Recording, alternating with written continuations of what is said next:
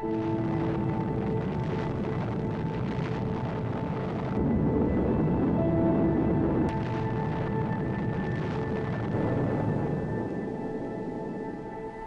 your country joined the treaty? Nine more must to end nuclear explosions forever.